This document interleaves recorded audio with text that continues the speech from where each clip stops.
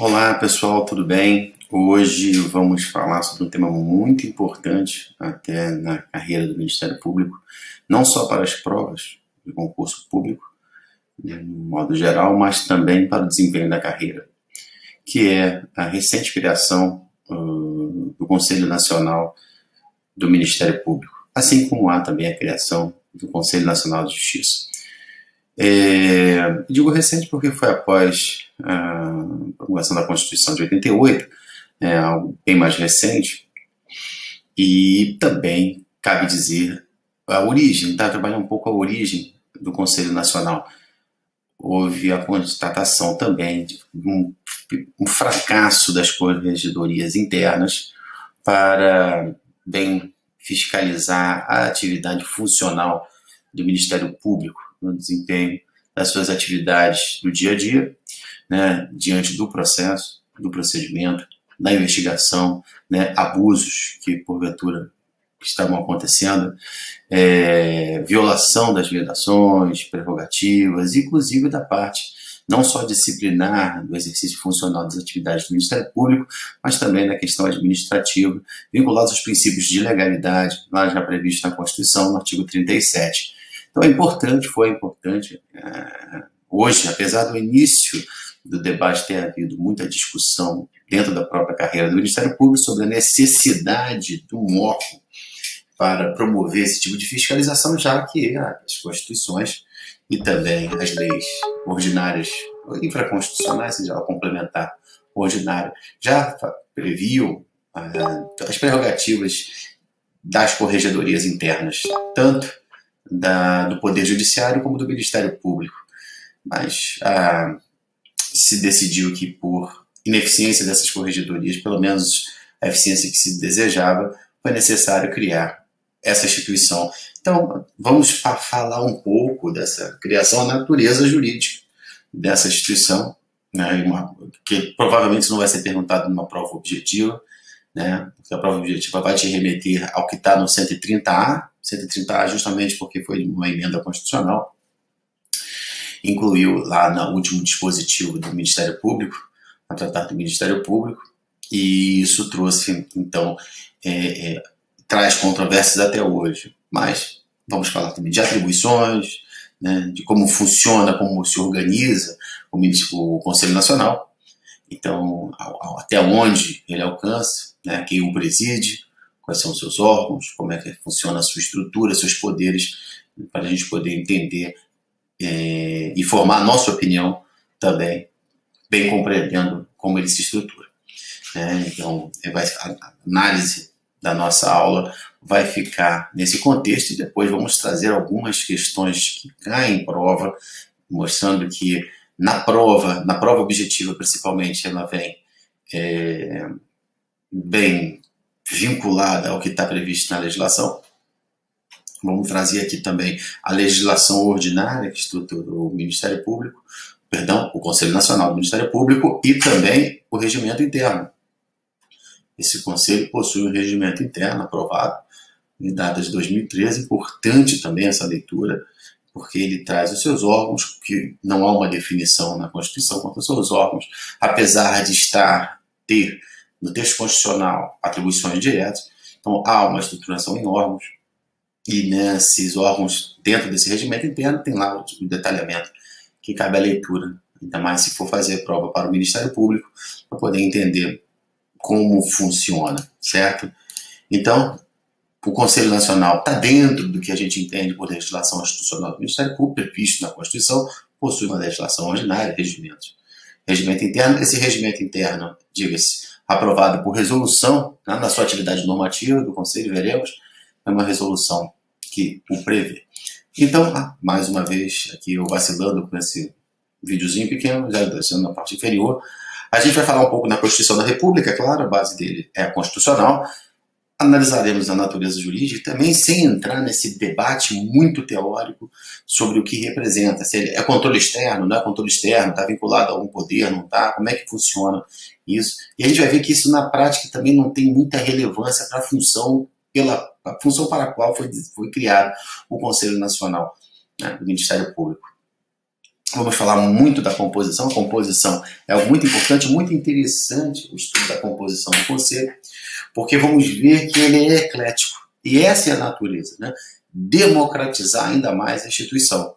Foi, inclusive, é um princípio constitucional, né? a ordem democrática, cada vez mais transformar as instituições dos poderes da República em algo muito plural, participação de todos no grande debate para a finalidade primeira, que é o crescimento institucional. Então, vamos falar um pouco da composição, ver alguns detalhes, e daí falaremos das atribuições. Lembrando que as atribuições está também vinculada ao que desempenham os órgãos do Conselho Nacional, do Ministério Público, temos atribuições do presidente, atribuição é, é, do plenário, as atribuições das corregedorias. A Constituição ela traz um texto ainda em, básico, até como haveria de ser, para o detalhamento ocorrer, então, no regimento interno. Aqui na nossa aula, não vamos ficar copiando item por item daquilo que está no regimento interno, mas pegar as atribuições do, do, do presidente do, do, Conselho, que na verdade é o Procurador-Geral da República, o que vamos falar, tá, tá, tá, tá, é isso, preciso um, dois, três, não, aí o candidato,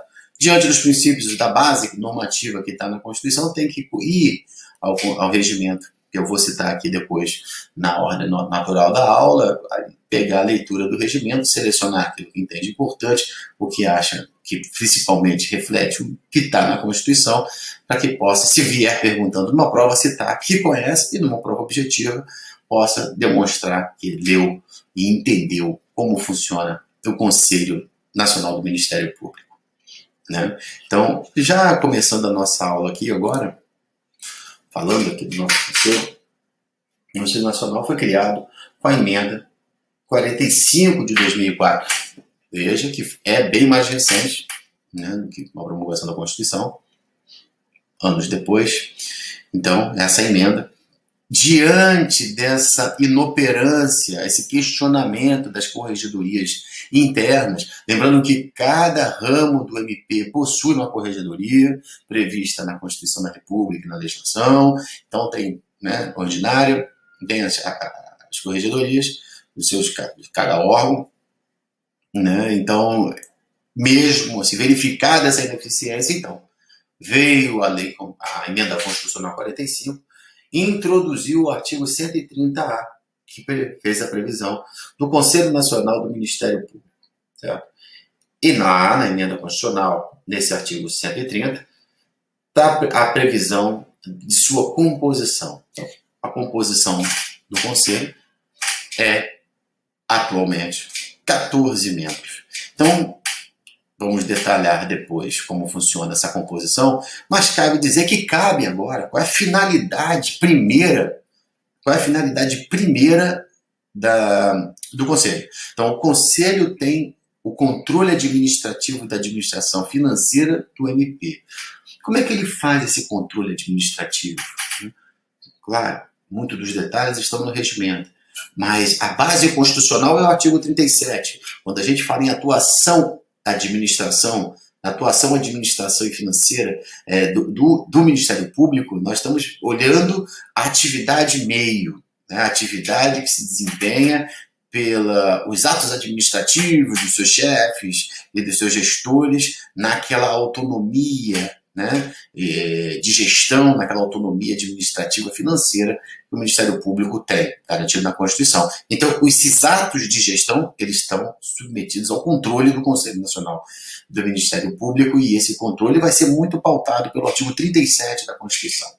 Tá? E também o cumprimento dos deveres funcionais. Né? O Ministério Público tem uma série, uma série de controles, controles internos, das suas atividades, seus deveres, o que o Ministério Público pode fazer, quais são os instrumentos que estão à disposição do membro do Ministério Público para entrar é, é, e provocar fiscalizações, né, todos os instrumentos, todas as prerrogativas e também no não cumprimento né, dos limites dados pela Constituição e pela lei, vai gerar aí um problema, pode gerar, inclusive, um abuso de poder que vai caber a uma violação a esse dever funcional, além das vedações expressas na Constituição da República. Quando falamos em vedações, também lembramos que existe um poder-dever. É um poder e ele deve estar até um ente da administração pública, que o Ministério Público não deixa, acabamos de ver aí no item anterior, ele não deixa de tatuar nos estritos é, limites da legislação, porque é uma forma de garantir ao cidadão que não haverá abuso daquele poder né, daquele poder, daquela fatia do poder do Estado que é conferida ao membro do Ministério Público. Então, bom, há um controle desse poder-dever e também das vedações que são da, previstas na Constituição. Então, basicamente, o Conselho tem esses dois lados. Atividade meio e atividade fim. Veremos que existem algumas é, é, é nuances que se refere é, é, é, os deveres funcionais dos seus membros, né, a necessidade da atividade fim, até onde ele pode ir. Né? Existe, não vamos esquecer, princípios constitucionais, como a dependência funcional, que deve ser preservada, a independência é fundamental para garantir a liberdade do membro na atuação na sua atuação, na sua análise do direito e qual é o melhor instrumento colocado à sua disposição o que não quer dizer que não haja abuso. E no abuso atuará o Conselho Nacional do Ministério Público, caso as corregedorias não atuem, ou naquela hipótese onde o Conselho pode avocar, e vamos falar aqui nas atribuições. Mas trouxe aqui esse primeiro slide para nós entendermos para que serve o Conselho Nacional. Onde ele atua? O que é o Conselho Nacional? É o Conselho Nacional do Ministério Público. Ele é composto por 14 membros. Esses membros têm o dever, também, dever, de controlar a atuação administrativa e financeira do Ministério Público e também o cumprimento dos deveres funcionais que o membro do Ministério Público tem diante da sociedade brasileira. Se esses deveres funcionais estão sendo desrespeitados, se a atuação na administração financeira do Ministério Público está sendo equivocada ou abusiva, caberá controle. É um órgão essencialmente de controle. Um órgão previsto na Constituição. Aí nós vamos começar a perceber qual é a natureza. Estou levantando aqui para a gente perceber qual é a natureza do Conselho Nacional. Já tem um órgão de controle. Ah, mas é externo, interno. É interno. É controle, é um órgão de controle, basicamente. Ele controla a atividade finalística do Ministério Público de certa forma. Os deveres funcionais que estão dentro da atividade fim. E também na administração, que está dentro da atividade meio. Né? Então veja, até né, agora é um órgão de controle, mas que também, como todo órgão incluído dentro da administração pública, ele tem limites. Né? E os limites são, como dei aqui, independência funcional, né? um limite, um princípio constitucional previsto é, é, é, para proteger o cidadão de qualquer abuso por parte das autoridades. Né? Então, é um órgão de controle externo. Sublinhei porque isso é muito legal. É controle externo? Não é. É controle externo, sublinhei porque isso é muito controvertido. Muitos vão dizer que é um órgão de controle externo. Externo por quê? Porque ele não está dentro da estrutura do Ministério Público. Né? Mas será que não? É controvertido. Muito controvertido, porque ele pode não estar dentro da estrutura do Ministério Público da União ou do Ministério Público dos Estados a vedação, por exemplo, que o Ministério Público dos Estados não deve constituir órgãos de controle é, como, como Conselho Nacional, né? para os seus estados mesmo. Um órgão de controle, que aí será externo. Veja que aqui existe um, um, um órgão né, de, constitucional, tá? aí eu botei de natureza constitucional, tá, tá aqui, natureza constitucional, que faz o controle de todos os ramos do Ministério Público, da União e dos Estados. Então ele não está vinculado nem ao, ao, Ministério Público da União e nem propriamente ao Ministério Público dos Estados. Né? Evita entrar na questão se é o controle externo, se ele é externo, até porque ele é externo aqui. Né? Ele é externo ao MPU? É, ele é externo ao MPU. Até porque ele está atuando também, atua diante do Ministério Público dos Estados. Então não pode estar dentro do Ministério Público da União. O mesmo acontecendo que você está externo ao Ministério Público dos Estados, mas ele está externo ao controle de tudo. Não fala controle externo, a gente acaba achando que ele está imune a qualquer tipo de atuação. É externo, é os poderes da República, ele controla, não, ele, tá, ele tem limites. Tanto, tanto, veja que existe uma participação plural dos seus membros. Né? Há uma representação no seu As carreiras do Ministério Público da União estão lá representadas. As carreiras do Ministério Público dos Estados estão lá representadas. Vamos ver a forma é, de escolha. Os magistrados estão lá, mas é um outro poder da República. Né? Existe participação do Senado, existe participação da presidência. Como é que funciona? Os advogados, cidadãos escolhidos. Então veja que é uma entidade plural. Quando a gente fala em controle externo, a gente deixa muito aberto. Externo aqui então, não sugiro, é um órgão constitucional de controle da atividade fim e meio do Ministério Público. Atividade fim com muitas reservas, né, no que se refere aos deveres funcionais, aos deveres funcionais vinculados à atividade fim e, a, e as vedações, e também ao controle administrativo financeiro do Ministério Público. Então, pessoal, quando for debater, estudar, analisar a, a natureza jurídica do Conselho Nacional, evita falar em controle externo né, órgão de controle externo, ele é um órgão constitucional de controle, né, que não está vinculado ao MPU nem ao Ministério Público dos Estados, certamente. Né, ele é um, tem caráter administrativo, né, até porque ele controla, não afasta a atuação dos tribunais de conta, porque também tem, é, é também é, órgão de controle. Então, é, veja como uma atribuição é, constitucional está né, tá aqui definida, porque está lá no 130A e está aqui como órgão de controle. Evita o externo. Se for questionado, é órgão de controle externo? Fica que há quem defenda, porque ele é externo ao Ministério Público da União e ao Ministério Público do Estado. Mas é ao Ministério Público brasileiro, né, o que vem a ser o Ministério Público brasileiro por todos os seus ramos, lá previsto a partir do artigo 127 da Constituição, está dentro do, do capítulo da Constituição que trata do Ministério Público, então também não é tão externo. Né? Ele tem essa natureza plural, essa composição plural, né? todas as carreiras do Ministério Público estão ali previstas, carreiras estas, ramos estes, que estão previstos no artigo 128 da Constituição, o Ministério Público da União dos Estados, e dentro do Ministério Público da União, cada ramo deles está lá com o seu assento reservado no Conselho Nacional, na sua representação.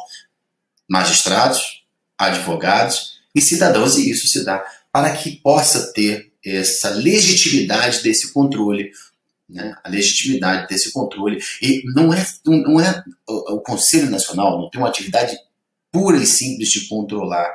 Ele também edita normas, edita recomendações. Isso é importante. Às vezes, uma recomendação, um debate que haja entre uma situação verificada, né, de embate de princípios constitucionais, da atuação finalística do Ministério Público, né, às vezes, com um controle que deve ser da atividade fim, né, às vezes na questão da liberdade de expressão, com a vedação, por exemplo, do exercício da política é, partidária. Né? Então, dois pesos, dois princípios constitucionais que são é, estão em, aparente conflito e o Conselho edita aí uma recomendação para que possa ter. E essa recomendação é debatida, então é muito importante que tenha a participação de outros né, conselheiros aí que tenham isso proveniente de outras instituições, magistratura, que é um outro poder da República, os advogados e também o cidadão.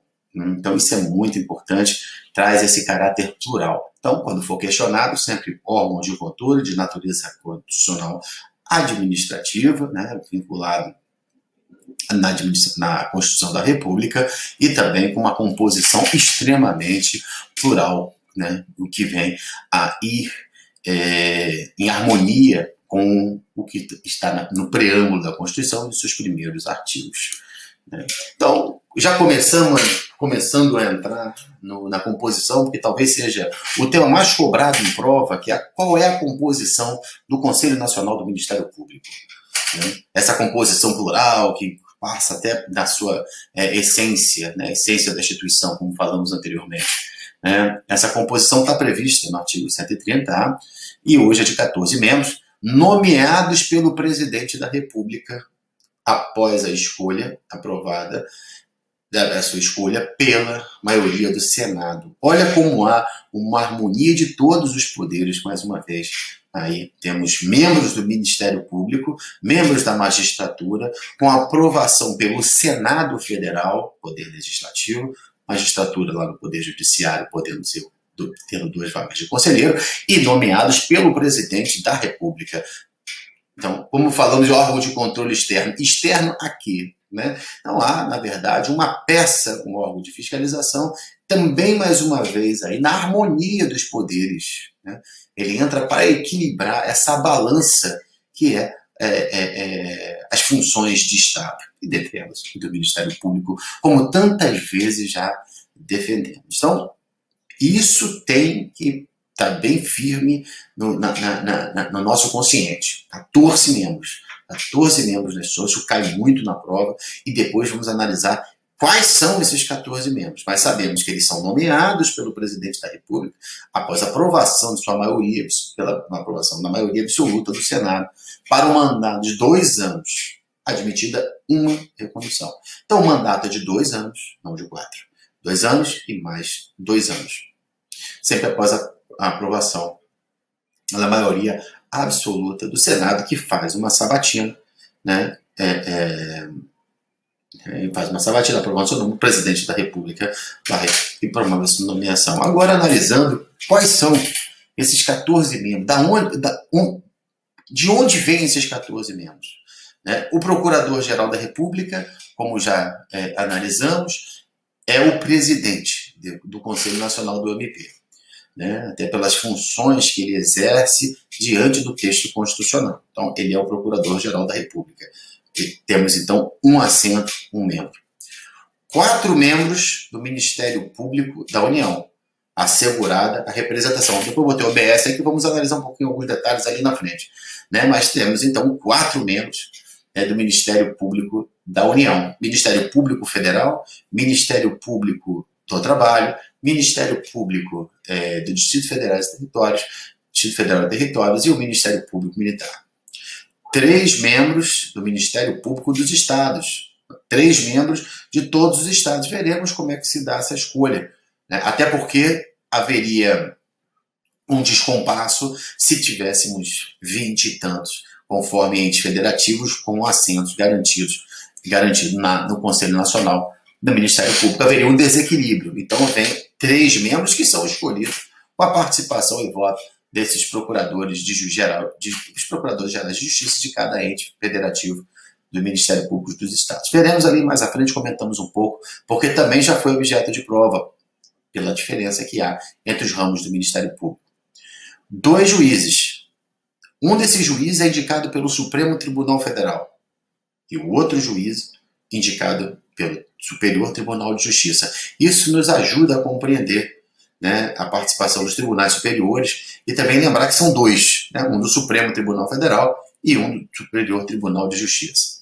Temos dois advogados que são indicados pelo Conselho Federal, da Ordem dos Advogados do Brasil. Então, o Conselho Federal também, além do, do presidente do, do, Conselho ter participação é, no Conselho, existem dois advogados que são indicados pelo Conselho Federal da, da OAB dois cidadãos também de notável saber jurídico e reputação ilibada. Então, notável saber jurídico e reputação ilibada, os requisitos, já sabe, é importante saber dessas, desses, desses requisitos, e que são indicados, um pela Câmara dos Deputados e outro pelo Senado Federal. Já foi objeto de prova também essa questão, depois vamos analisar se ele é, será que ele pode ser afastado, né, sendo do, da Câmara dos Deputados, vai ser julgado nos crimes de responsabilidade pelo Senado, a gente vai ver lá no, no artigo 52, que nos crimes de responsabilidade o Senado acaba por julgar, né, naquela a função atípica do Senado Federal,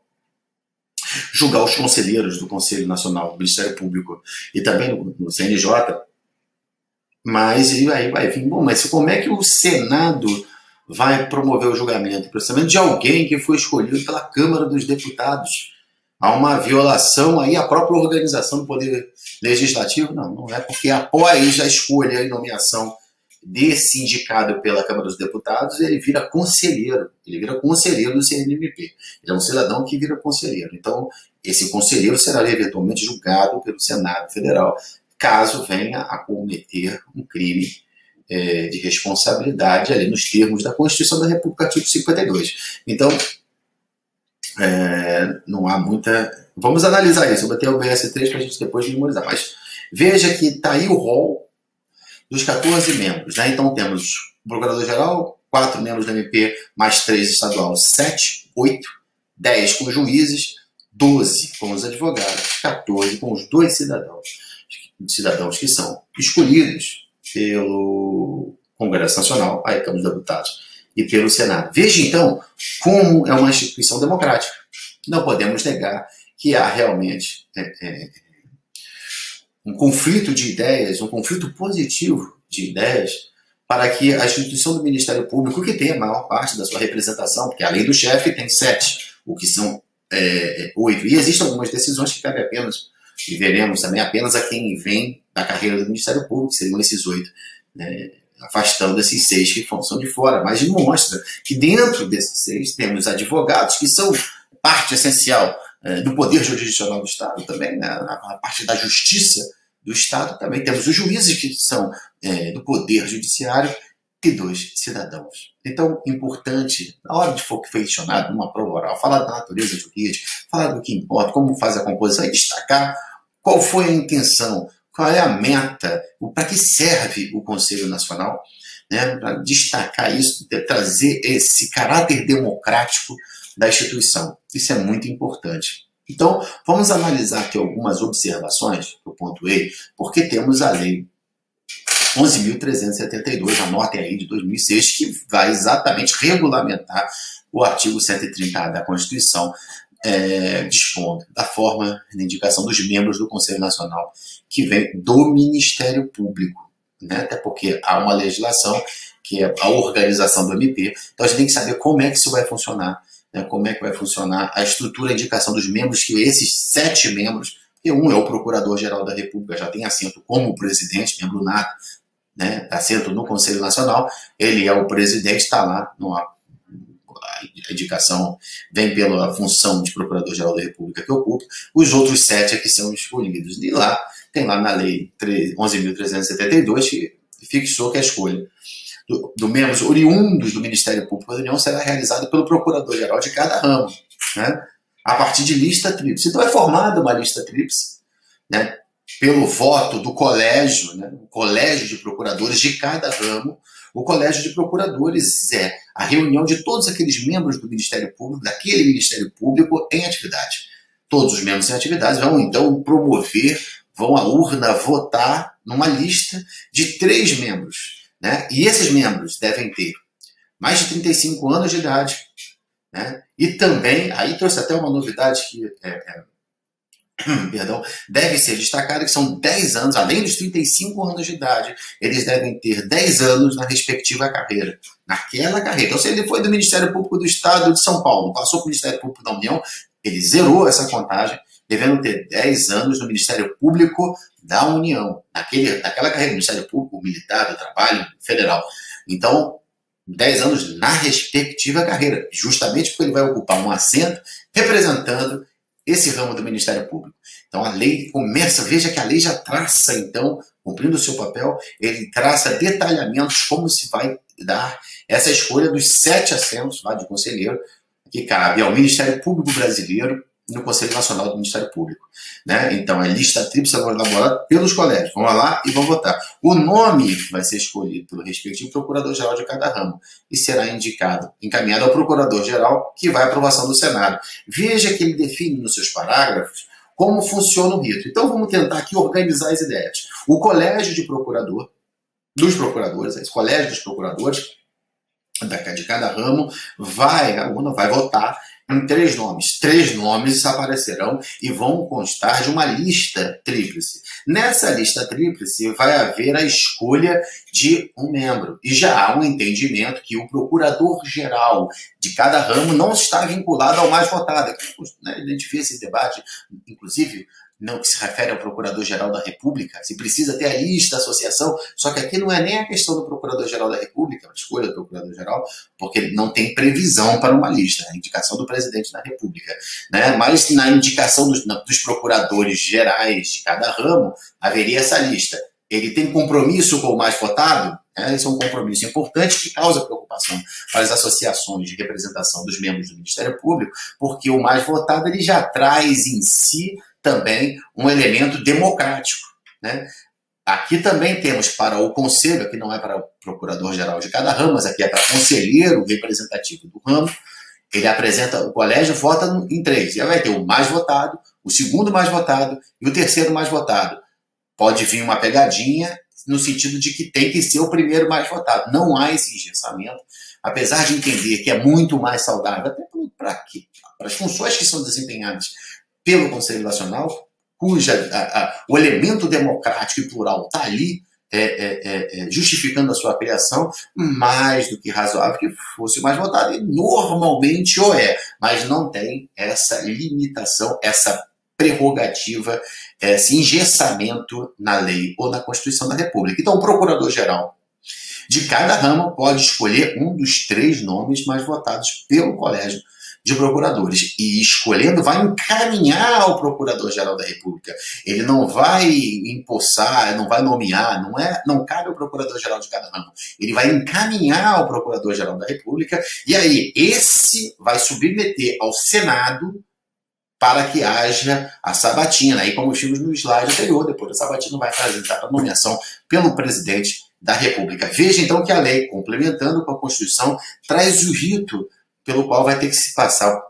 o nome de qualquer um que seja candidato ao Conselho Nacional do Ministério Público. Então, esse procedimento é, complexo, né, diversos atos, daí, que começa com a habilitação de um nome para de um candidato para ocupar o Conselho Nacional do Ministério Público de cada ramo, isso para os sete, sete assentos destinados aos ramos do Ministério Público, perdão, existe um rito previsto na lei, e aí vai, começa do edital, ele se habilita, passa a ser votado pelo colégio, depois da votação do colégio formalista lembrando que o procurador-geral não tem é, a obrigação de escolher o mais votado, o procurador-geral de cada ramo escolhe e encaminha ao procurador-geral da República para que ele comece a passar esse nome para o Senado e após a aprovação do Senado possa ser indicado pelo presidente da República, como a gente viu aqui na nossa slide, terminando o último bloco, falando dessa escolha e esse rito, certo? Então, a forma de escolha do Ministério Público dos Estados, que tem uma peculiaridade. Primeiro, porque são apenas três nomes e não 25, 26, conforme os entes federativos. Né? É, a escolha de três nomes apenas e serão submetidos ao Senado. E é do Colégio de Procuradores Gerais de Justiça existe todos os entes federativos, todos os estados, tirando aí o Distrito Federal e território que tem, estão incluídos no Ministério Público da União, os estados vão apresentar, vão se reunir os procuradores gerais no colégio, que decidirá em reunião conjunta, especialmente convocada e realizada com essa finalidade, ou seja, indicar três nomes para ocupar o Conselho Nacional, o Ministério Público, nos assentos reservados ao Ministério, aos Ministérios Públicos dos Estados, a partir da indicação de um nome por Estado. Então, vai ter, cada Estado vai ter a apresentação de um nome, será apresentado é, ao seu respectivo Procurador-Geral, que vai levar ao Colégio de Procuradores Gerais, e dentro desse colégio vai haver a votação para sair dali com três nomes que serão depois encaminhados né, para nomeação. Então, é importante fazer essa, essa distinção. E a distinção vem justamente porque os ramos do Ministério Público do Estado não se confundem com o Ministério Público da União. Essa, essa a, a, diferença deve ser destacada. Então, trazendo uma segunda é, observação também, como a gente já comentou, a escolha do Procurador-Geral de Justiça de cada cada estado não é absolutamente discricionário. Tá? Lembrando, existe a elaboração de uma lista tríplice pelos integrantes da carreira. Existe, né, não indica ninguém exatamente como é nos ramos do Ministério Público da União. O Colégio de Procuradores do Ministério Público do Trabalho, por exemplo, do Ministério Público Federal, vamos, vai ter ali uma lista tríplice. E aí o seu procurador-geral vai escolher, sim, entre os três, mas não qualquer um fora da lista né? Vai escolher dentre aqueles três. Pode ser o mais votado ou não, como a gente argumentou há pouco. Então, a elaboração da lista vai ter integrantes da carreira composta por membros de 35 anos de idade e que também já tenham completado os 10 anos na respectiva carreira. Como eu disse, esses 10 anos acaba se fazendo muito importante, até porque um colega pode ter migrado de um, de um Ministério Público para outro e a vaga é destinada ao Ministério Público Estadual. Vai que um procurador do Ministério Público Federal tenha feito um concurso no Ministério Público de determinado Estado e tem menos de 10 anos vinculado a essa instituição. Então ele não poderia concorrer né, a formar a lista tríplice que depois vai ser escolhida pelo respectivo Procurador-Geral de Justiça. Então, dessa forma, a partir da lista tríplice elaborada por todos os integrantes respectivos Ministério Público Estadual, o Procurador-Geral de Justiça escolherá um dos nomes e submeterá ao colégio de procuradores. Então, o Procurador-Geral apresenta esse nome escolhido, não de forma arbitrária, mas dentro da lista tríplice ao colégio de procuradores, que juntamente com os nomes dos demais entes, que cada um vai apresentar o seu nome, cada um vai apresentar o nome que foi feito por listas tríplices também, juntamente com os demais nomes, por sua vez, ser elaborada uma lista de três membros a serem indicados ao Senado Federal. Está tudo lá no parágrafo 2. Então, essa lei, a Lei 11.372 de 2006, que trata de como forma a escolha por parte do, do Ministério Público, os sete assentos do Ministério Público, digo sete porque o, oito já, o oitavo já é do procurador, na verdade, o procurador-geral é o primeiro, né? Então, essa lei é importante porque vem na prova essas pegadinhas né, vinculadas a essa forma de escolha. E a gente vê que o Ministério Público da União tem uma diferença do Ministério Público dos Estados e também dentro dos ramos, como funciona a escolha de cada ramo dentro do Ministério Público da União. Então é importante a gente vincular e ter a noção dessa diferença. Então, Outra observação que colocamos lá ainda na composição são os dois cidadãos que são escolhidos, um pela Câmara e outro pelo Senado, que não podem ser membros do Ministério Público. Então, mas o Senado quer colocar alguém que é membro do Ministério Público. Não pode, porque ele quebra né, exatamente qual foi a intenção plural, né, a intenção plural de, de criação do, do Conselho Nacional do Ministério Público. Né? Senão a gente perde esse equilíbrio de forças dentro do Conselho. Já existem oito vagas para membros do Ministério Público. Né? Porque afinal é o Conselho Nacional do Ministério Público, mas tem que ter essas seis vagas. Esse é o equilíbrio que o Constituinte desejou. Então, se o Congresso Nacional, seja para a Câmara dos Deputados ou o Senado Federal, indica um membro do Ministério Público para compor a lista, já cria um desequilíbrio, vai contra o intuito né, é, daquilo que foi previsto na Constituição. Né? O objetivo constitucional é a coexistência de integrantes internos e externos. Aí falamos daquela questão do controle externo, evita, por quê? Porque tem gente do Ministério Público, a maioria, inclusive, que é da instituição, mas também tem elementos externos. E se botar mais um do Ministério Público, seja ele qual for, qual ramo, vamos quebrar essa proporcionalidade que foi fixada pela própria Constituição. Né? Então não caberia aí é, ao Congresso Nacional apresentar uma, um nome de um membro do Ministério Público, né, sob pena de quebrar essa proporcionalidade e desvirtuar as finalidades que foram é, estabelecidas pelo Conselho. O Conselho ele debate muitos temas é, né, da atividade funcional do Ministério Público, então está lá os sete membros e o oitavo lá o Procurador-Geral da República. Então, os outros apresentam esses elementos, arrefecem a instituição. Né? É a visão de fora, é a que a gente fala, né? a visão de fora. Né?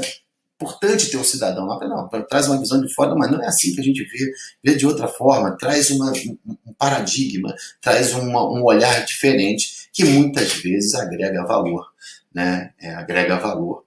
As novas orientações que podem ser dadas ao Ministério Público para que ele continue na sua intenção é, de sempre crescer atender cada vez melhor e cada vez mais eficiente uh, o cidadão brasileiro. Agora veja que, lembrando que a própria, o Conselho Nacional, um dos objetivos é o artigo 37 da Constituição e está a eficiência. Né?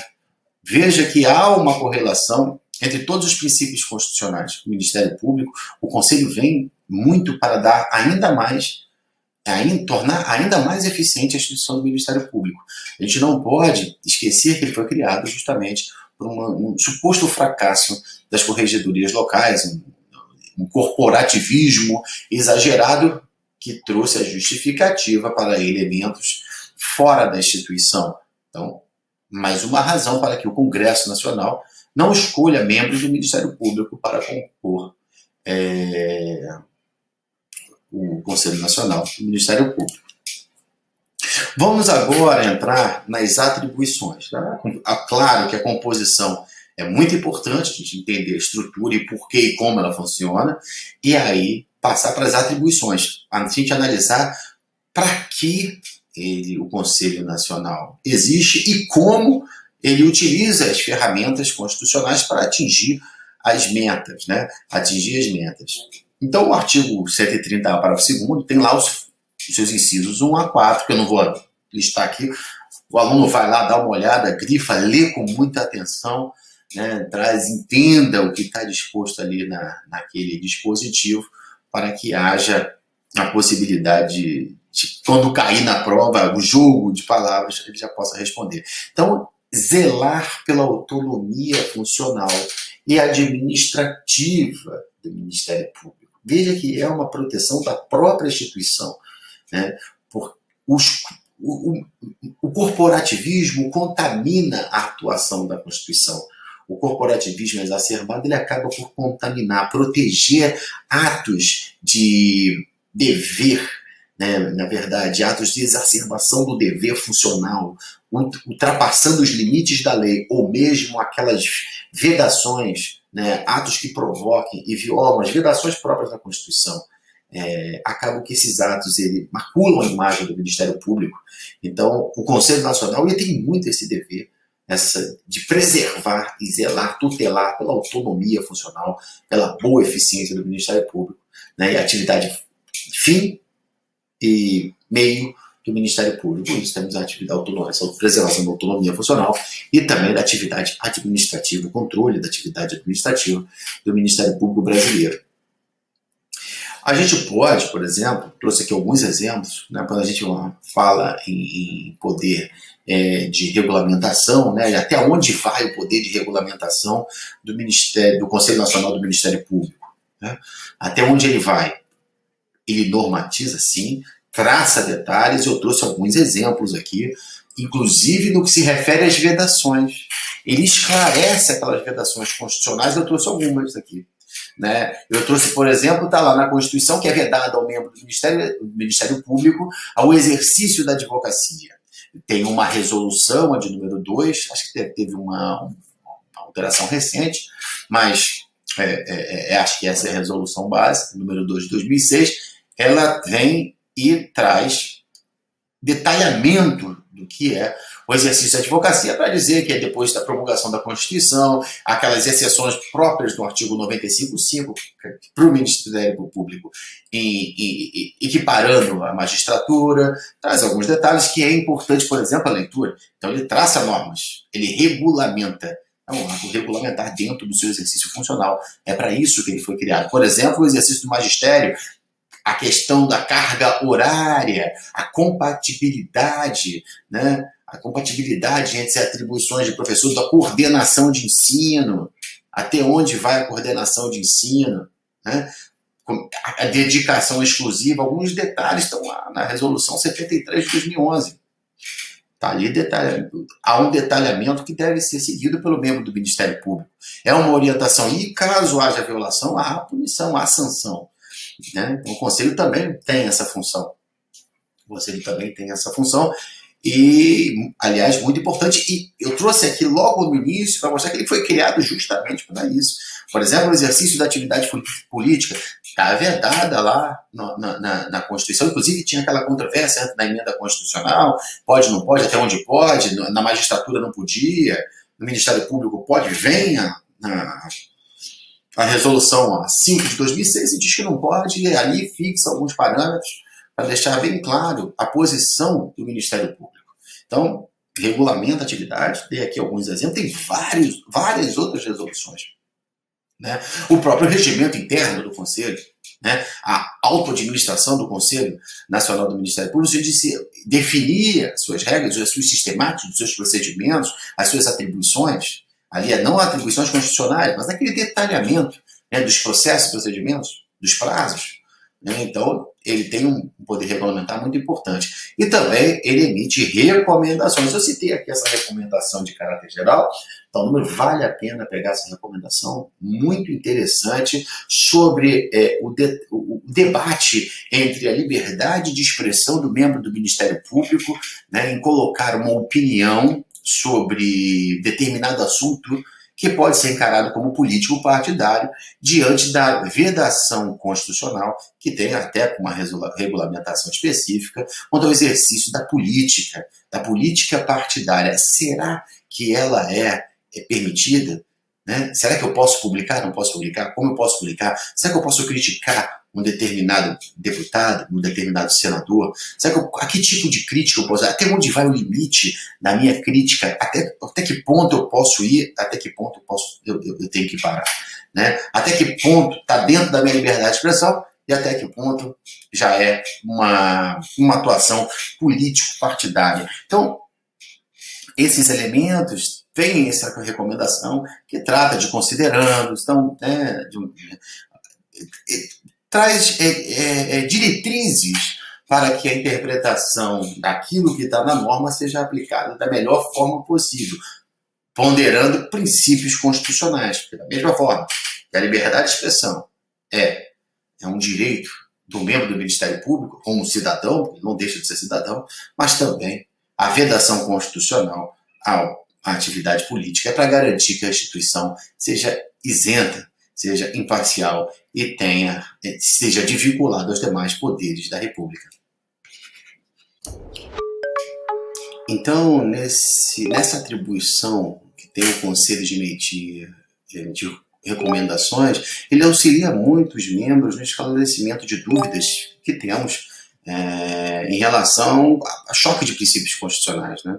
Essa recomendação que citei no último slide, é, relativa ao a liberdade de expressão um direito absoluto. Né? O membro do Ministério Público, ele tem lá a sua mídia social, né? às vezes antes de passar no concurso já tem muitos seguidores, né? já tem muitos seguidores. Então quando ele coloca, ele publica, ele acaba influenciando. Ele tem uma atividade, né? muitos seguidores, ele acaba influenciando outras pessoas. Né? Então será que é compatível a atividade do Ministério Público com uma ser uma influência em mídia social. Então, se eu colocar na mídia social uma, uma posição política partidária, até que ponto é, isso seria legítimo? Ah, mas eu estou no exercício da minha. Eu tenho livre a minha expressão. Posso fazer. Os famosos memes, né? Os memes hoje em dia acabam, são muito, são muito engraçados e aí você publica isso, só que você não tem 100, 200, 300 seguidores, você tem 5 mil, 50 mil, 150 mil seguidores, e é por aí vai. E até que ponto você não está disseminando algum tipo de orientação política, se tornando ou radicalizando para um lado, né? Então, em, em prol de um princípio constitucional, que é a liberdade de expressão, mas que você não é também um cidadão é, comum do povo no sentido de ter nenhum vínculo com a administração pública. Você é membro do Ministério Público, não deixa de ser membro de, do Ministério Público quando está em casa, não deixa de ser membro do Ministério Público agora nesses tempos muito mais virtuais, e quando está diante né, do seu computador, do seu celular, publicando e fazendo postagens em redes sociais. Então temos que ter muito cuidado. E essa recomendação traz isso, traz diretrizes, ele, ele traz limites para que possa o membro do Ministério Público se orientar é, e evitar qualquer tipo de punição por publicações que sejam feitas em sua rede social. Então, veja como o Conselho tem é, é, no debate ali dos conselheiros, aí o elemento plural, até para passar a experiência de quem está de fora, né, para que se adote uma recomendação dessa natureza. Muito importante é esse debate sobre e, e, a forma de, de, ponderação de princípios de índole constitucional. Nessa recomendação de caráter geral, muito interessante, tá aqui eu anotei o número, recomendo a leitura, tá? é bem densa, mas tem muitos considerandos interessantes. Aí, continuando nas, nas atribuições, Lembrando lá o artigo 37, mais vinculado à atividade meio, porque o Ministério Público ele não deixa de ser parte integrante da administração pública para ser a ele aplicado todos aqueles princípios que regem o ato administrativo de um modo geral, como, por exemplo, o princípio da legalidade, né, o princípio da legalidade dos atos administrativos, que são praticados por seus membros. Aí, lembrando que é uma atuação do Ministério Público em típica atividade meio. Né? A gente faz muito essa dicotomia entre atividade fim e atividade meio para definir a atividade fim como aquele atingimento das metas institucionais criadas pelos artigos 127 seguintes da Constituição, né? uma atividade cujos elementos, instrumentos para o desenvolvimento da, da, da atuação estão também previstos no 129, né, daqueles da organização, da gestão, da autonomia gerencial do Ministério Público, né, como órgão das, da, da administração pública, e aí tem que respeitar todos os princípios esculpidos lá no artigo 37. Então, legalidade dos atos administrativos, né? por exemplo, o Ministério Público compra é, bens por meio de licitação, tem que respeitar todos aqueles procedimentos da lei específica. Então, apenas citando um exemplo. Então, é uma atividade meio. O Ministério Público precisa fazer o registro de preço para adquirir determinado produto, determinado insumo para que haja desenvolvimento da sua atividade fim. Né? Por exemplo, a compra de um carro para viabilizar a inspeção, a compra de uma mesa para viabilizar o trabalho no bloco, a compra de um computador, a compra, né? e aí vai outros elementos, papel, etc. Né? E nessa execução Nessa, no exercício dessa atribuição de fiscalização e observância é, dos atos administrativos da atividade meio, poderá sim o Conselho é, rever os atos para que garanta o respeito à lei. Então veja como é um órgão de controle. Né? Não é um órgão apenas para um debate plural para emitir uma recomendação né? Ele é um órgão de controle, né? sem prejuízo, sem prejuízo das competências que são previstas pelo artigo 73 da Constituição para os tribunais de conta. E aí, lembrando que cada ente federativo vai ter seu tribunal de conta, tá? Então, fazendo né, atuação no controle financeiro da gestão pública, né? Gestão pública cada vez mais é, é, é, é preocupante para nós aqui brasileiros, né? mas que estamos evoluindo no controle, na fiscalização e na atenção com a coisa pública. Né? E não é diferente o Ministério Público. O Ministério Público controla e deve ser controlado, como todos os poderes na República. Então, sem prejuízo da atribuição e das competências específicas dos tribunais de conta, o Conselho Nacional do Ministério Público pode sim rever os atos derivados de ilegalidade na administração dos ramos do Ministério Público. Né? Então, também, receber reclamação contra membros ou órgãos do Ministério Público, da União e dos Estados, inclusive contra os seus serviços auxiliares. Então, o Ministério Público tem ali ouvidoria, tem os seus servidores, né? uma, parte de distribuição, os membros em si, as corregedorias, né? Então, isso aí tudo pode ser, pode haver uma reclamação ao Conselho Nacional do Ministério Público, importante inclusive, é bom até para trazer uma ilustração da importância que isso tem, quando o Ministério, quando o Conselho Nacional do Ministério Público, usando suas prerrogativas de inspeção e correção, veremos ali na frente, né, é, ele divulga que vai estar em determinado estado, por exemplo, São Paulo, vai estar em São Paulo, na capital de São Paulo, no período tal a tal, está ali o corregedor nacional apto a receber reclamações que pode ser do Ministério Público Estadual, que pode ser do Ministério Público Federal, lotado ali, do Ministério Público Militar, do Ministério Público do Trabalho, daquela procuradoria, daquela ouvidoria, daquele setor de distribuição. Então, veja que o Ministério Público eh, ele pode ele tem vários braços e também né, é, é importante divulgar a, a correção para que o cidadão possa promover essa reclamação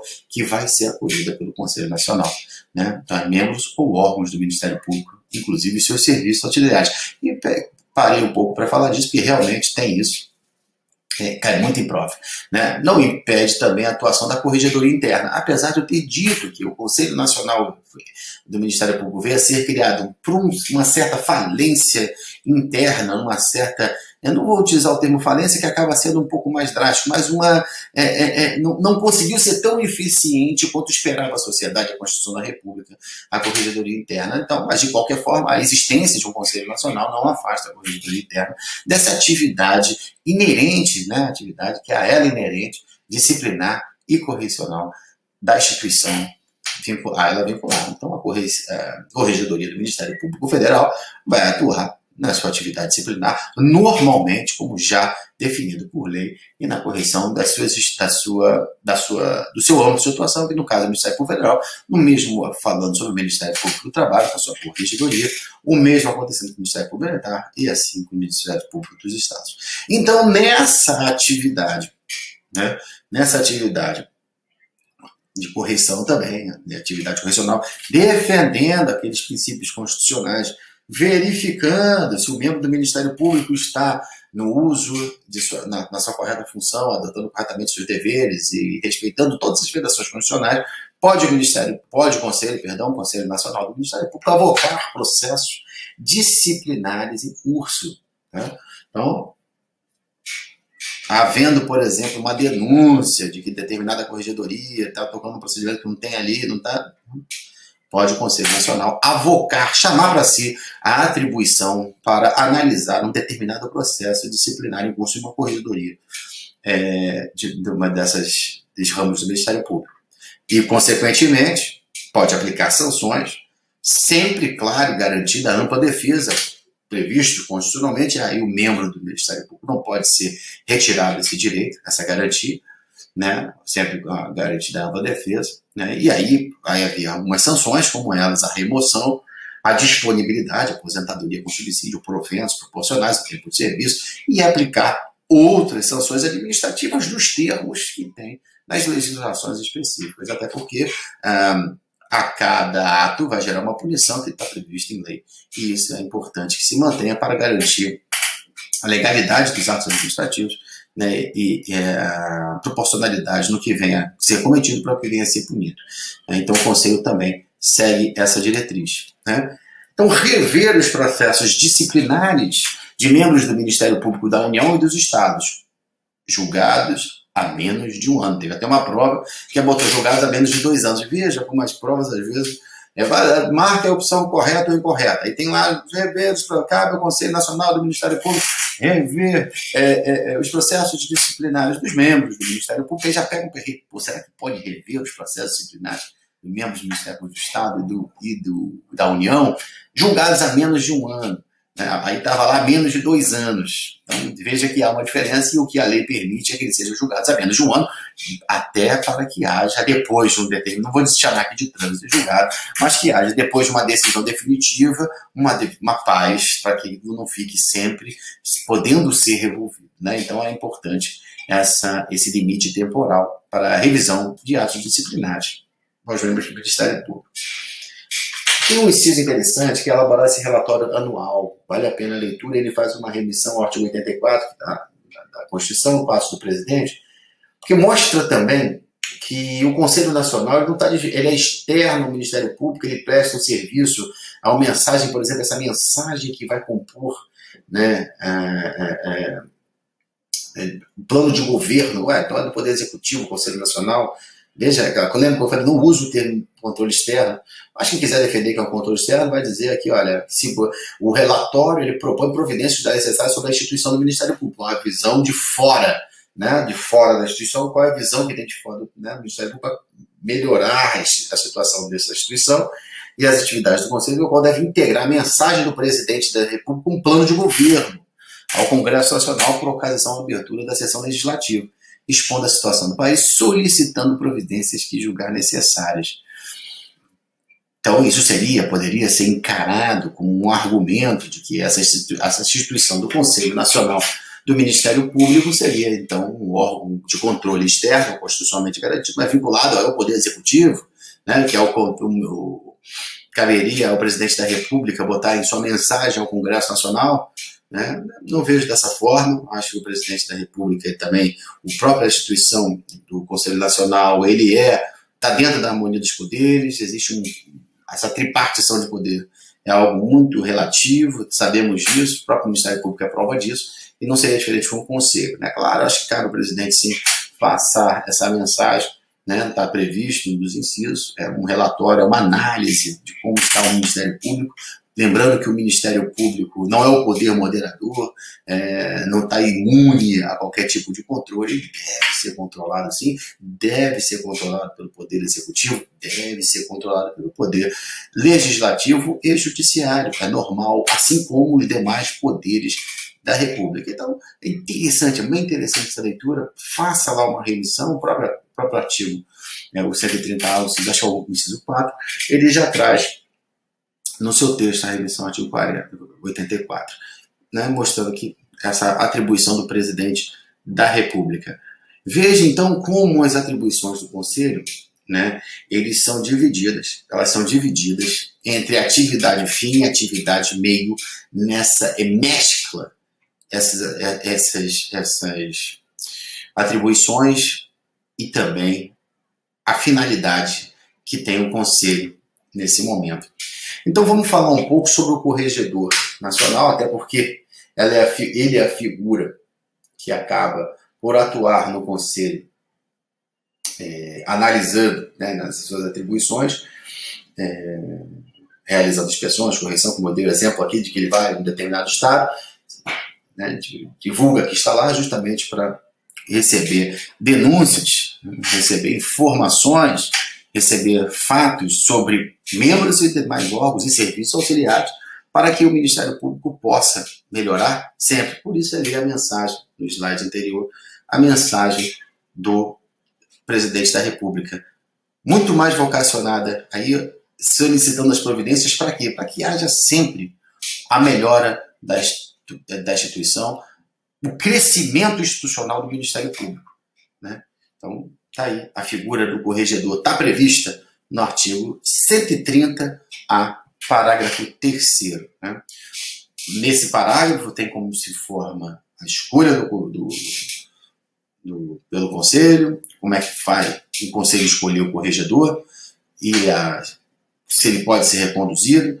Então é importante e as atribuições estão sempre sendo cobradas em prova, né, misturando esse, até onde pode ir até onde pode ir o corregedor nacional, o que, que ele pode fazer. Assim, a figura do corregedor hum, nacional, o corregedor do Conselho Nacional do Ministério Público, é a personificação da atividade de fiscalização e controle exercida pelo Conselho Nacional do MP. É, claro que o Conselho, com seus, os demais membros, deliberam, recomendam, é, regulamentam, aprovando regulamentações, resoluções do Conselho, eles aprovam, mas o corregedor, diante das funções que veremos a seguir, as, as funções desempenhadas por ele, personifica toda a atividade fiscalizatória. E é ele que vai, por exemplo, ele ou alguém aí delegado, por ele delegado, vai às inspeções e correções locais em cada estado para fazer a verificação e o controle dos atos da administração daquele determinado ramo e receber, ramo do MP, e receber as denúncias, os fatos relacionados a qualquer membro, órgão do Ministério Público naquela localidade ou dos seus serviços auxiliares. Né? Então é importante, muito importante a, o entendimento, a compreensão do que vem a ser o corregedor nacional, aí como a gente está vendo, o corregedor nacional do Ministério Público, que é do Conselho Nacional está previsto no artigo 130A, parágrafo 3 né? É uma escolha do Conselho, né? não é uma indicação, é uma escolha do Conselho Nacional do MP, né? uma votação secreta. Aí lembra que comentei quando falamos sobre é, algumas, alguns atos são feitos apenas pelos ocupantes da carreira do Ministério Público. Esse é um caso. A votação é secreta entre os membros do Ministério Público estão lá representados no Conselho, então naqueles assentos destinados ao membro do Ministério Público. Né? E é vedada a recondução. É interessante isso porque permite o rodízio dessa atividade e, e, e, e o, o, conselheiro ele pode ser reconduzido, mas não na, na, na, na no, no cargo, no encargo de corregedor nacional. Então ele pode acabar sendo conselheiro e corregedor, ou corregedor e conselheiro, dependendo da, da votação que for feita no Conselho Nacional. É importante essa, essa, esse rodízio né, da atividade correcional, até porque é muito extenuante, muito cansativo. né, e desgastante para qualquer conselheiro. Então, tem as atribuições é, do Corregedor Nacional. Não vamos esquecer que, quando falamos de atribuição do Corregedor, do plenário, do presidente do Conselho, que é, no caso, o Procurador-Geral da República, no exercício da chefia ali do Conselho Nacional, da administração do Conselho Nacional, né, do Ministério Público, tem lá numa, numa, numa, numa, no regimento interno da instituição do Conselho Nacional regulamentando, mas o Conselho, o Corregedor Nacional tem essas atribuições fixadas na Constituição. E está lá prevendo que cabe a ele receber as denúncias. Por isso que quando ele se desloca a determinada localidade para fazer a inspeção ou a correção, tá, segundo, ele sempre publica, ele sempre dá publicidade à saída dele para que as pessoas possam, se estimulem a procurar, conversar, denunciar e passar fatos. Né? Então ele recebe reclamações, ele recebe denúncias de qualquer interessado, pode ser um cidadão, um advogado, um juiz, um órgão, uma instituição pública ou privada, que vá apresentar uma reclamação para aquele membro do Ministério Público, aquele órgão ou aquele serviço auxiliares, né? de qualquer interessado relativo aos membros né, e seus serviços. Exercer funções executivas do Conselho na inspeção e correção, porque ele se desloca, ele vai e lá ele promove tantos atos né, de inspeção, ele verifica as instalações físicas dos órgãos do Ministério Público. Dá um exemplo, pra, é bom ilustrar, para isso sair um pouco da, da, apenas do que está escrito na norma. Vem o conselheiro do Ministério Público, no Ministério Público do Trabalho, e verifica se as instalações estão é, adequadas ao que se exige para pessoas portadoras de deficiência. Né? E se existe, tem, por exemplo, é, é, é a marcação no piso, para aqueles que não podem ver, se os banheiros são adequados a cadeirante uma série de outros itens necessários, inclusive que são cobrados pelo Ministério Público em sua atividade finalística, então que também são fiscalizados pelo Conselho Nacional é, no nas, nas, nas instalações do Ministério Público, que pode inclusive ser recebido uma denúncia né, de, de, alguém dizendo que determinado Ministério Público, determinado estabelecimento do Ministério Público não tem, é, não é adequado para receber pessoas portadoras de deficiência. Então, cabe aí uma reclamação e o conselheiro, é, corregedor, vai ao local e faz essa inspeção. Né? Então, veja como é que esse ato é né, uma função executiva que cabe ao corregedor analisar. E verificar esse controle e promover esse controle. Requisitar e designar membros do Ministério Público, é, delegando-lhes atribuições e requisitar servidores, porque o corregedor não, não, não trabalha sozinho, ele tem uma equipe, chama membros, do Ministério Público para auxiliar.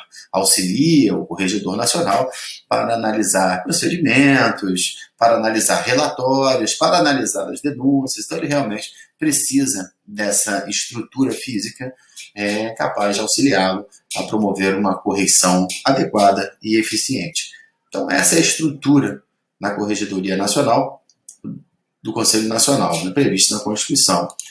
Temos o Conselho Federal da OAB, eu trouxe esse detalhe, que nos termos do artigo 130A, também já no parágrafo 4 o presidente do Conselho oficiará junto, né, o presidente do Conselho Federal tá, da OAB, ele oficiará junto ao Conselho. Não quer dizer que ele seja o conselheiro representante, da, ah, por favor, do Conselho Nacional, que como vimos lá no slide pertinente à, à composição do Conselho, a OAB tem sim a sua indicação, mas aqui é o, o presidente oficiará junto, né? mas não será conselheiro. Né? Destacar essa diferença, atuará junto, né? será, será participará de alguns atos, será ali é, na defesa de alguma né, atuação, etc. Mas não será conselheiro. Também é importante as ouvidorias. Né? A Constituição, no parágrafo 5 ela impõe, estimula a criação de ouvidorias dos Ministérios Públicos, dos Ministérios Públicos dos Estados e do Ministério Público da União. Não, as leis né, da União dos Estados criarão as ouvidorias. Né? Para quê? Para receber essas denúncias Exatamente isso é o acesso à democratização. Né? Você permitir tirar o Ministério Público daquela posição incômoda né, de não ser incomodado Né? Então, quanto mais canais de acesso do cidadão, né? quanto mais canais de acesso do cidadão para relatar um ato, relatar um fato é, que viola a legislação por parte do membro do Ministério Público ou do seu serviço, esses canais eles são altamente é, democratizantes e estimulam né, a permanência até do sigilo, inclusive, né, para que a pessoa faça a sua reclamação e o próprio órgão, diante dessa, né, desse fato, dessa reclamação, dessa, se vir, se vir numa necessidade de ajustar, né, consegue promover a, a consertação de qualquer tipo de equívoco que possa ser verificado. Mas pode ser que não seja até nem legítima a, a reclamação, mas será analisado e, por isso, havendo né, realmente um fato justificador ou não realmente, aquilo podemos melhorar. Podemos melhorar a, a, o prazo que se analisa determinada notícia de fato, podemos melhorar a forma que atendemos determinados é, cidadãos, podemos melhorar o acesso da Procuradoria, o horário que a Procuradoria funciona e vários outros é, é, é, é mecanismos que sabemos que a denúncia traz, né, denúncias e reclamações traz quando as pessoas estão é, querendo colaborar, né, um passo a mais, um passo adiante, para que a instituição possa, de novo, repetindo aquilo que é, falamos nos slides anteriores, para que o conselho foi criado. Né, é melhorar a instituição, democratizar a instituição. Então, essas ouvidorias estão aí para isso. Né, auxiliar o Conselho Nacional, auxiliar o Conselho Nacional, mas aí sim, dentro de cada ramo do Ministério Público. E a ouvidoria está vinculada ao ramo do Ministério Público, né, seja ele estadual ou do Ministério Público da União.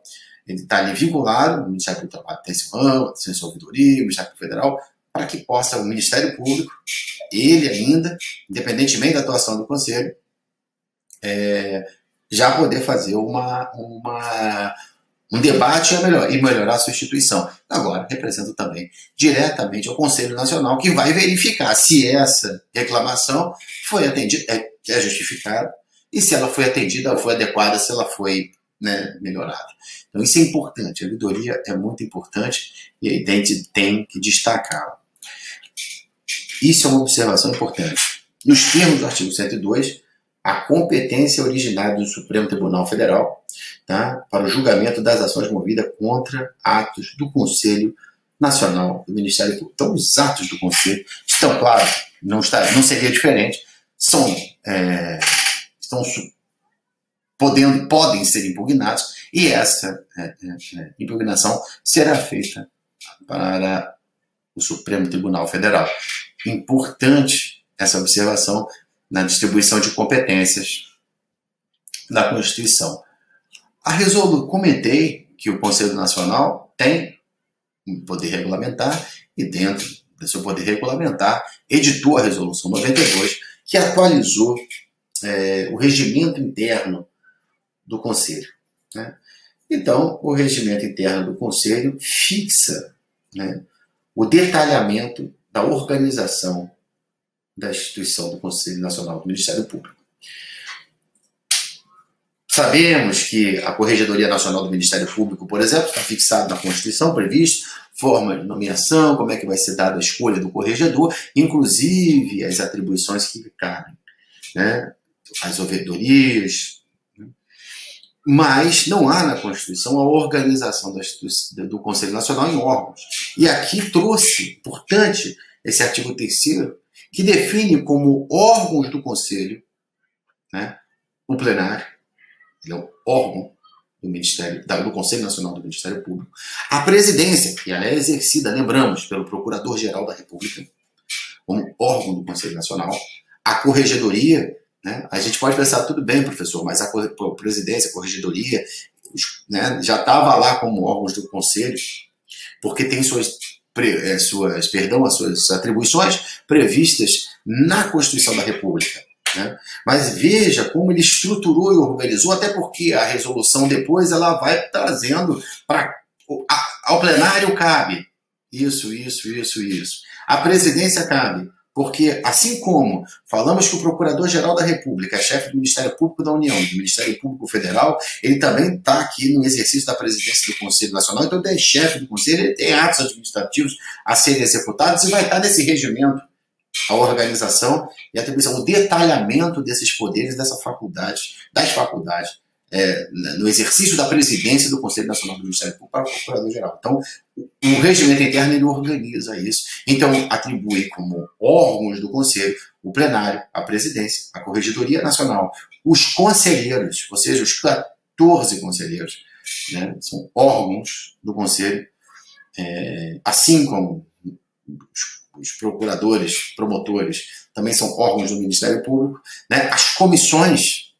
né, as comissões que também têm suas atribuições definidas nessa na, na, resolução e a ouvidoria nacional.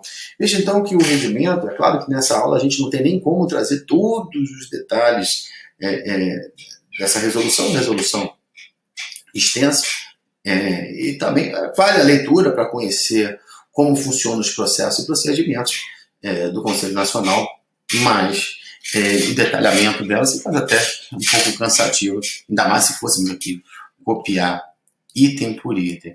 Então percebam a importância do Conselho, a importância do Conselho Nacional, as suas, a sua função, a função diante do controle, lembrando a questão do controle externo, é controle externo, mas não entre, evite passar por esse caminho, na prova objetiva dificilmente vai trazer né? Se trouxer, vai exigir uma leitura ainda mais apurada dos outros incisos ali, nas questões. Nós vamos analisar algumas questões que, que os concursos mais recentes do Ministério Público do Trabalho, por exemplo, trouxe, é, trouxeram aí algumas questões bem interessantes do Conselho Nacional.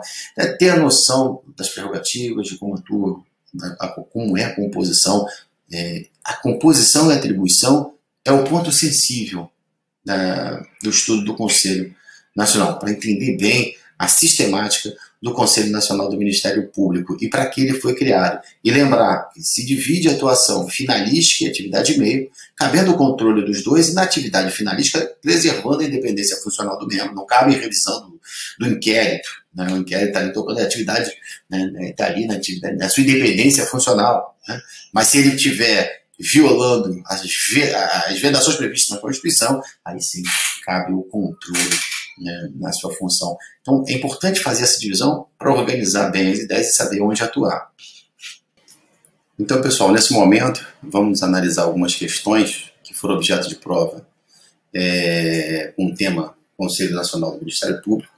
Questões objetivas, vamos ter a oportunidade de observar que as questões estão vinculadas à redação do texto constitucional e da legislação específica. Né? E aí, vinculado muito no que se refere à composição do Conselho Nacional do Ministério Público e também as atribuições é, da instituição. Né? Então, ainda dentro da legislação institucional do Ministério Público, vamos analisar as questões é, com base na Constituição da República, né? se refere à natureza jurídica, composição e atribuições. Né? Sempre aquele cuidado é, com sempre aquele cuidado com a redação das questões, né, atenção na leitura, e vamos começar aqui a analisar a questão 73 do 16º concurso, né, sobre o Conselho Nacional do Ministério Público, CNMP, é correto, é incorreto, olha aí, incorreto, já vem, já sublinha, né, incorreto afirmar. O CNMP compõe de 14 membros nomeados pelo Presidente da República, depois aprovada a escolha pela maioria absoluta do Senado para um mandato de dois anos admitindo uma recondução. A Corregedoria Nacional do Conselho, a Corregedoria é objeto de prova, poderá realizar inspeções, correções e auditorias para apurar fatos relacionados à deficiência do Ministério Público em todas as suas áreas de atuação, bem como serviços auxiliares, não havendo evidência de irregularidade. Havendo ou não, né? Os atos relativos à atividade fim, inquérito civil, procedimento, do Ministério Público, são suscetíveis de revisão e desconstituição pelo Conselho Nacional o presidente do Conselho Federal ficará junto, oficiará, perdão, junto ao Conselho. Vamos analisar de uma forma rápida cada item desse. Né? Então, destacar sempre, o aluno deve destacar sempre que é incorreto afirmar. O Conselho Nacional se compõe de 14 membros, correto? Está lá, no artigo 130A. Nomeados pelo presidente da República, né, aqui é o grifo aqui, nomeados pelo presidente da República, depois de aprovada a escolha pela maioria absoluta do Senado. Isso é comum, vai ver que essa questão já teve de novo na prova, em outra prova, é, com o mesmo objeto, né? Para um mandato de dois anos, admitida uma recondução. Está lá, está aqui, perfeitamente cópia do artigo 130A da Constituição. O B. A Corregedoria Nacional poderá realizar inspeções, correção, auditoria, reuniões, né? Precisa estar tipicamente como está na redação idêntica à lei, tem que ter né, o mesmo sentido, para apurar fatos relacionados a deficiências do serviço, as denúncias, reclamações. Você vai reclamar sobre fato relacionado à deficiência do serviço que é prestado pelo Ministério Público, né? Está aqui. Então, a denuncia, tá? realmente é isso. Em todas as suas áreas de atuação bem como em seus serviços auxiliares. Né? Tá? O de azul para facilitar a visualização e ver que, muito, não, apesar de não estar idêntico à lei, está permitido, é, é correto afirmar isso, né? havendo ou não irregularidade. Não necessariamente tem que haver irregularidade. Às vezes, né? para testar a inspeção, na, ocorre independentemente da, da, da irregularidade. Né? Mas às vezes o relatório pode ser muito bom, dizer que a instituição está maravilhosamente de parabéns. Né? Então não tem problema. Está previsto também no 130 A da Constituição né? Então, está correto, né? ele pode requisitar os membros do Ministério Público, né? sempre deixando bem claro a atuação do Conselho. O C. Os atos relativos à atividade de fim, inquérito, civil, procedimento preparatório, procedimento investigatório do Ministério Público são suscetíveis à revisão. E aí temos o problema. Né? Primeiro que é a revisão. Né? Eu falei que tem uma questão funcional e uma questão legal. Administrativa, sim, que pode ser revista mas no que se refere à independência funcional do membro, atuando na sua atividade finalística, vocacionada dentro da investigação, dentro do inquérito, dentro do procedimento preparatório ou no procedimento de investigação, não cabe principalmente a revisão. Sabe por quê? Porque está na lei de ação civil pública que a revisão cabe às câmaras de coordenação e revisão lá para o Ministério Público, o Conselho Superior do Ministério Público, aí tem lá a organização. Então é a Câmara de Coordenação e Revisão de cada ramo do Ministério Público que faz a revisão, por exemplo, de um arquivamento, que é um ato que vai importar a revisão, sim, e cabe essa, essa revisão, mas não pelo Conselho Nacional do Ministério Público. Que o Conselho Nacional do Ministério Público, como controle de execução, controle, perdão, de fiscalização, pega muito pela observância do ato administrativo das atividades médicas e também na questão da atividade funcional vinculada aos abusos do poder dever do, do procurador, do membro do Ministério Público e também para eventual violação a, a as vedações constitucionais atividade, né? Então, aí poderá rever os atos. Então, é, aqui está a diferença. Ele pode, por exemplo, rever os atos disciplinares, não tem problema. Então, lá, os atos disciplinares das corredorias vai poder ser revisto pelo Ministério Público, pelo Conselho Nacional do Ministério Público, mas jamais aqueles atos do promotor na atividade fim. Né? Então, aqui está incorreto né, a letra C. Mas vamos analisar, analisar a letra D. O presidente do Conselho Federal da OAB oficiará juntou com o CNMP e está lá realmente no artigo 73 do parágrafo 4 a mesma redação. Então, veja, é uma questão muito cópia de lei, apesar de que tanto essa questão que está correta não é a cópia literal do dispositivo de lei, como também essa aqui trouxe é, o equívoco do controle por parte da atividade finalística, violando a independência funcional, que é princípio constitucional. Então, o gabarito é exatamente esse aqui, a letra C, como incorreta. Olha essa outra questão que interessante é, sobre o Ministério Público é incorreto. Aqui, mais uma vez, trazendo um ponto específico na qual alguma das assertivas foi selecionado o tema controle. É, é, Conselho Nacional do Ministério Público. Então, a critério do relator, Procurador-Geral da República será ouvido nas ações de inconstitucionalidade. É competência privativa do Senado processar e julgar nos crimes de responsabilidade os membros do Conselho Nacional do Ministério Público, inclusive aqueles indicados pela Câmara dos Deputados. A despeito da expressa referência constitucional que prevê a competência privativa do presidente da República, iniciar leis e tal, presidência sobre a organização do Ministério Público, são exemplos de vedações atualmente previstas pelo Conselho do Ministério Público, participados da sociedade comercial, não exercer ainda disponibilidade qualquer função pública, salva de ministérios, exercer advocacia, papapá. Certo? Essa é a prova, já analisamos em outros temáticas, outras temáticas a questão, porque ela envolve vedação, ela envolve Conselho Nacional do Ministério Público, ela envolve o Procurador-Geral da República. Então aqui a gente já vê que está incorreto a questão do critério, da critério do relator, já que o Procurador-Geral da República, como oficial, oficiando como custos leves, ele tem sim a fiscalização da, da verificação do cumprimento da constitucionalidade de determinado ato normativo, né, e ele deve sim se manifestar, ele não defende a lei necessariamente, né, ele atua ali como uma função de Estado, auxiliando o Poder Judiciário. Então não é, é não é a critério do relator, né?